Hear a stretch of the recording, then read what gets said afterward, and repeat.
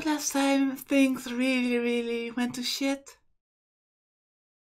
It's almost like Shiki got some kind of all overpowering urge to kill. Like he wasn't himself. Honestly, I have no idea what's what's going on.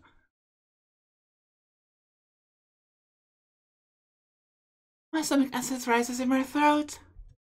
I throw everything back up. My food, my gastric juices, everything while I cry.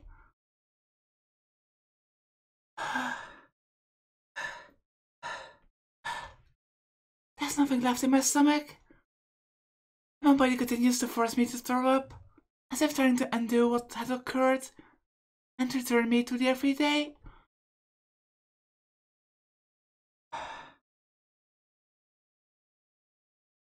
Pain, it hurts, and my insides are burning. The tears won't stop, and my body collapses to the floor like a pile of garbage. I keep crying.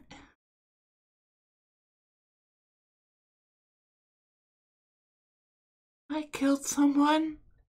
I killed her without reason, without mercy.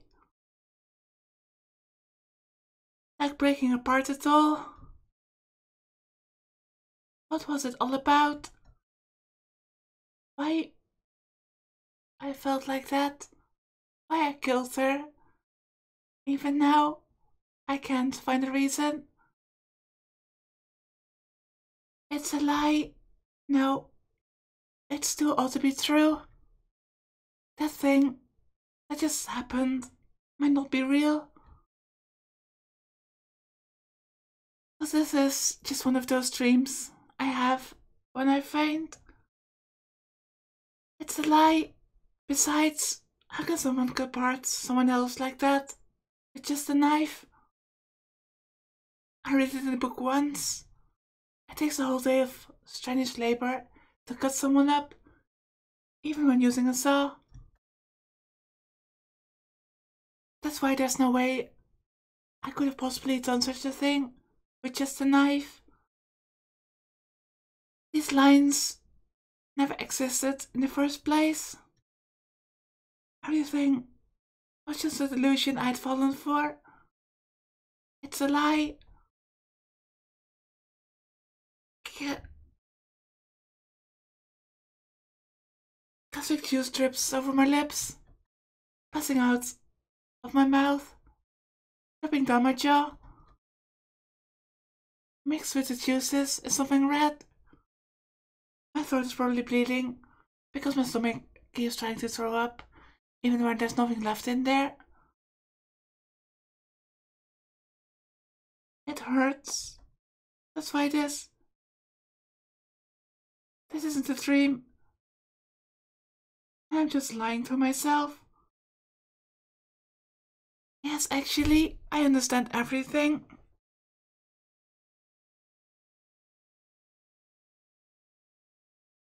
I lusted after her. Just looking at her aroused me. When I cut her apart, it was so thrilling. I almost ejaculated. These eyes, too. I knew these lines could cut things apart like paper being shredded. I should have understood that even a person could easily be cut apart, like I just did to her. I'd lived a normal life without even thinking about something like that. If I really am the sort of dangerous person who would easily kill just about anything, then I should have put out these eyes or lived a life without seeing anyone. I'm sorry, Sensei. I'm so sorry. Not even such a simple promise. But I don't care about myself.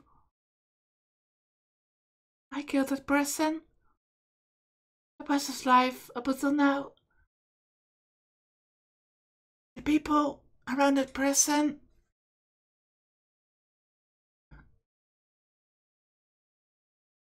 The future that person dreamt of.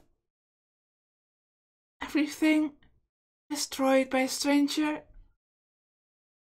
Even if I regret it, I cannot be forgiven. Even if I apologize, I cannot be forgiven. Have I gone insane? I don't know. There isn't even a trace of that impulse left. But if that impulse came back again, what will happen to me? The thought of holding back never crossed my mind. I didn't even consider trying to stop myself. Kill this girl. If it had seemed like the obvious thing to do, and I went through with it, then there's nothing I can do. Then the answer is simple. I must be insane. I've probably been mad since eight years ago, when I miraculously came back to life from a fatal accident.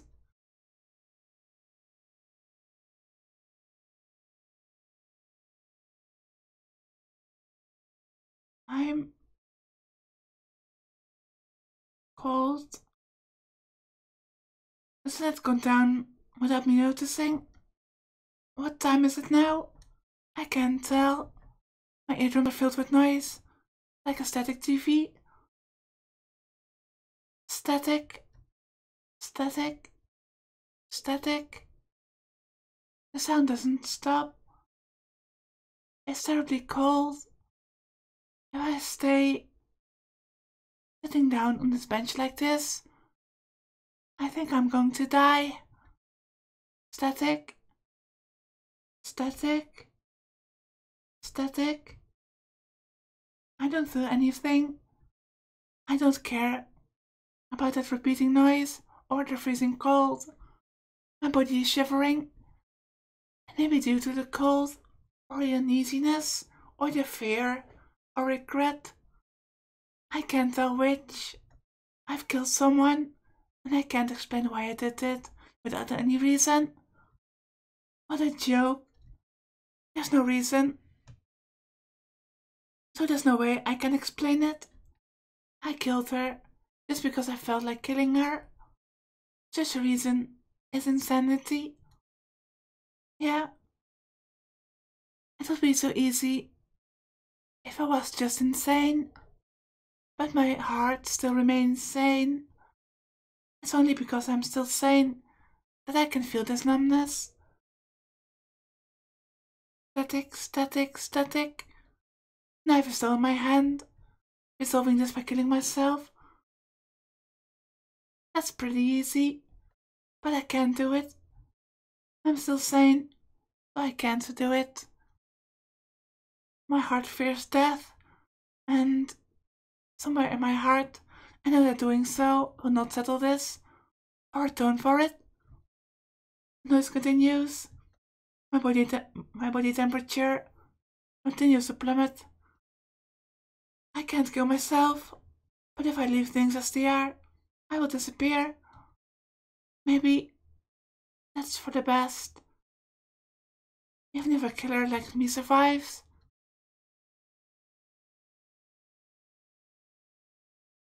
if I just quickly die like this.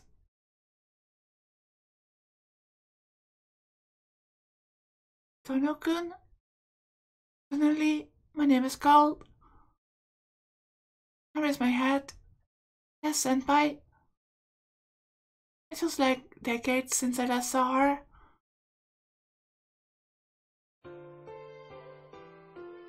What are you doing? Sitting out here in the rain? Rain?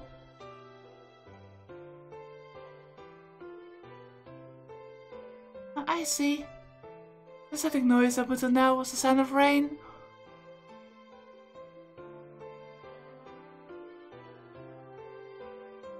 No wonder it's cold. I can see now that I'm completely soaked and freezing. Well, you don't even have an umbrella. Going to catch a cold like that. Tono-kun. Senpai's voice is so painful. It was only a few hours ago that I had last heard it, but now it sounds so distant. Tono-kun? Can you hear me? Uh, uh, yeah. It wouldn't be so bad to catch a cold. I just reply without thinking. That one too. You'll catch more than a cold with me like this, even if it is October. My sentence cuts off as he touches me. How long have you been like this, Tono-kun? You're so cold. Senpai pulls my arm and forces me up from the bench. I'll lend you my umbrella, so please hurry and go home. And do something about your body. It'll be really a matter of life and death if you don't warm up quickly. Uh, yeah. But I can't go home. I can't go anywhere ever again. I can't go home after doing something like that. I don't think there's anywhere left I can rest anymore. Senpai stares at me. I see. Let's go back to my room. It's closer than your house, so it's perfect. Senpai pulls me by your, my arm. I can't shake her off. I can't think about anything at the moment, and Senpai's warmth is the only certain thing in this world where everything feels numb.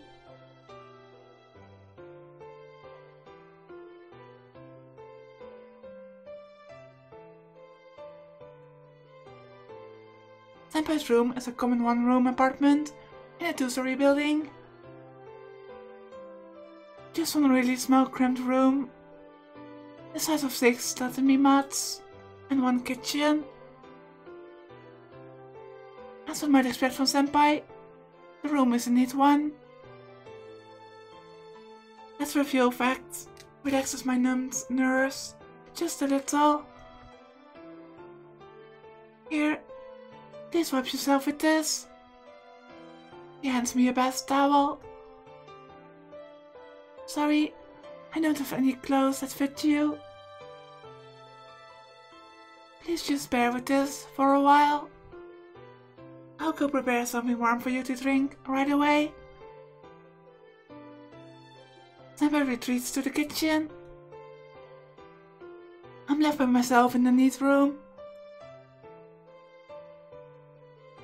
Never imagined coming into a girl's room like this. A girl's room. The room of a girl. A girl's room, which I forced myself into and killed, a girl in. I feel like throwing up. What am I doing here? In such a place? I have absolutely no right to receive Senpai's hospitality here. Thanks for waiting. Here you go. Tono-kun. You've got to wipe yourself down, quickly. Senpai scolds me as he begins to rub my head with a bath towel.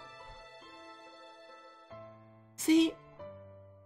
Your shirt is all soaked too. You've got to take it off. You might get pneumonia like this.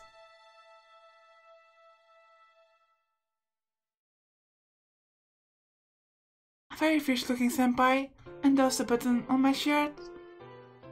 Suddenly, her fingers stop. Uh, uh. Senpai takes a long hard look at my chest. This is a healed wound, isn't it? Uh, she must be surprised to see an old wound on my chest. The burn-like marks are right in the middle of my chest. She might be surprised at seeing them, because she didn't know. Yeah, they're fine. It's already been eight years. I see. Thank goodness. If this wound was the reason you're acting funny, I would have to take you to the hospital right away.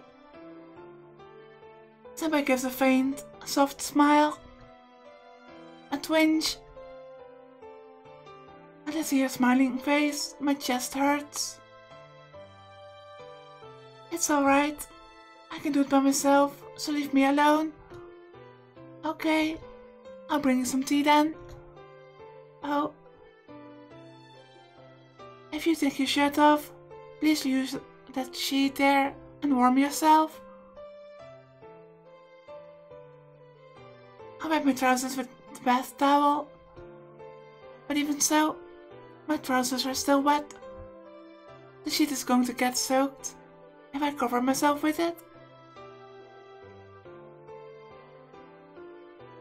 I take off my shirt and wrap the top half of my body with a towel. Ah, are you finished wiping yourself? Then let's have some tea. Senpai sits down, holding a tea set. Please sit down too, Tono-kun. I can't calm down with you standing up. I do as I'm told and sit down. Senpai pours some English tea and hands it to me.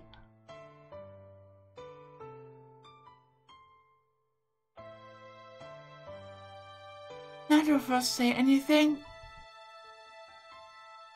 Senpai drinks her tea, as if she doesn't notice my presence. Following Senpai's example, I drink some as well. It's hot, so hot that it hurts my tongue. The warmth puts a pulse into me. It feels like my heart, brain, and all my other organs that stopped begin to move a little again. Senpai says nothing. It's not long before the teacup's empty. Senpai naturally refills the cup again with more. Ah, I get the feeling that I have to say something.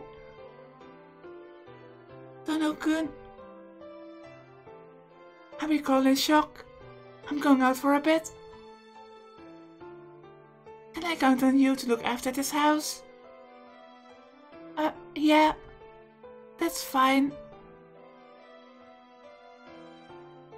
Alright, then I leave it up to you. I do wonder where she's going.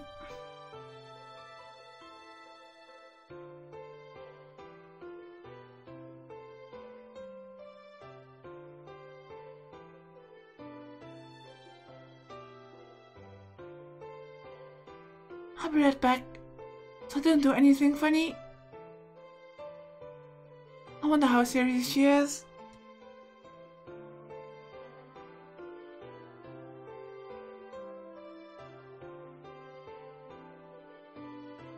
Smiling as she speaks, Senpai leaves. I'm alone again. The warm something I felt up until a moment ago is quickly cooling down. Senpai didn't ask me anything.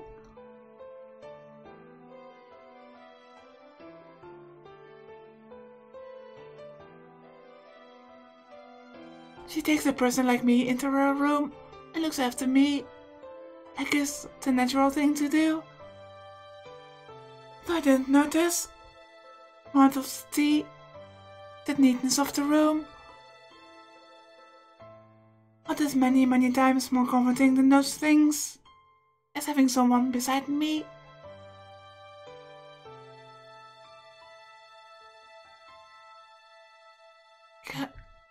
Chest hurts. A little while ago, I preferred to be alone, feeling nothing, but now I become uneasy just by her absence. I want to scream like I've gone crazy. What arrogance! I'm a murderer after all.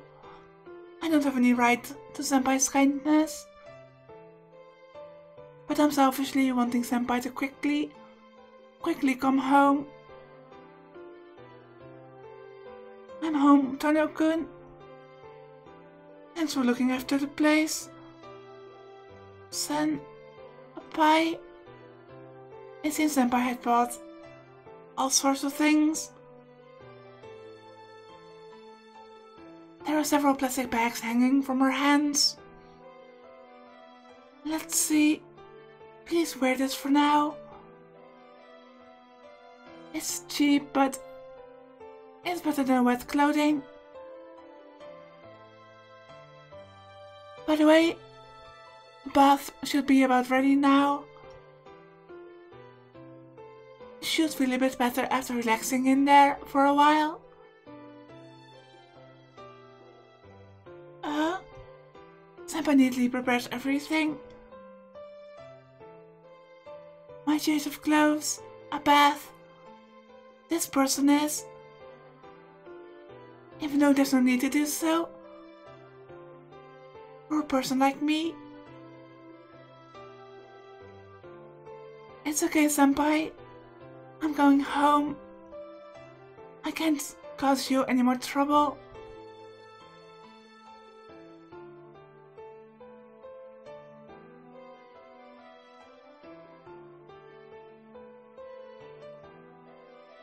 What are you saying, Tono-kun? You said you can't come, can't go home, right? I've already bought food for two, so please take responsibility. Responsibility?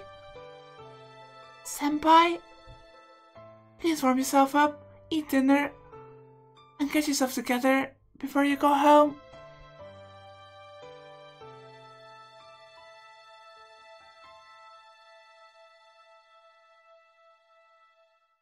If you go home with a face like that, I'll be so worried I won't be able to sleep. My chest hurts. Happiness. I'm so happy I'm about to cry, but on the other hand,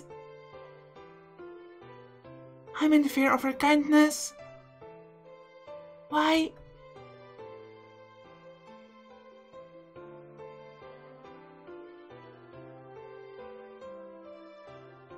Yes? What is it, Tono-kun? Why do you go so far, senpai? I don't any, have any right to be treated kindly by you. I killed someone. I can't have someone taking care of me. I'm hopeless. I made a very big mistake just then, and I ran away without taking responsibility. I was even considering just dying.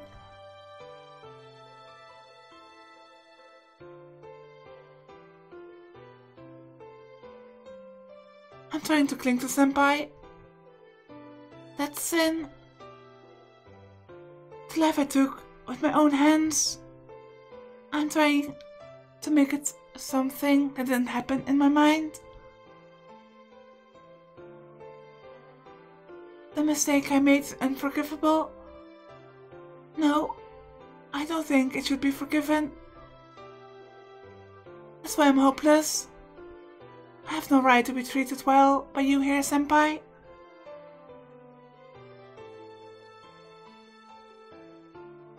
Senpai sighs. Seems you're convinced that you're a bad person, Tono-kun. She answers simply. Senpai grasps the truth lying deep within me. But that just shows you have no confidence in your own actions.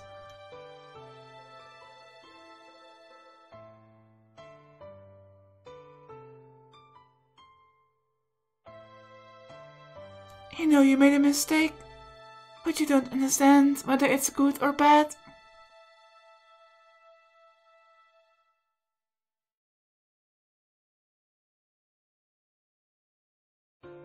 That's why you have no choice but to drive yourself into a corner until things become clear to you. Now that's.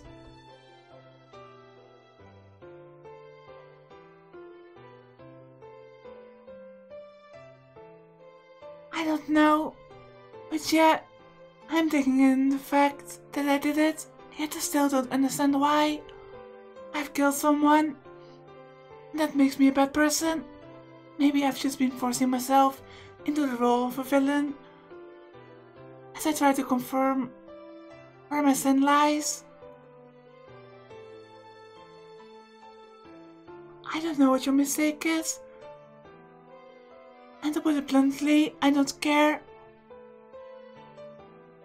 You say you have no right to, to kindness, but that's just your point of view. I'm not being kind to you for your sake, so please don't worry about it. Well, I mean, I'm doing this because I want to. It has nothing to do with your circumstances.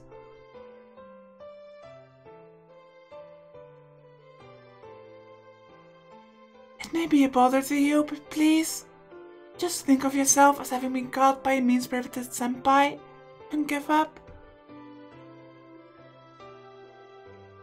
Saying this, Senpai smiles. That soft, protective, faint smile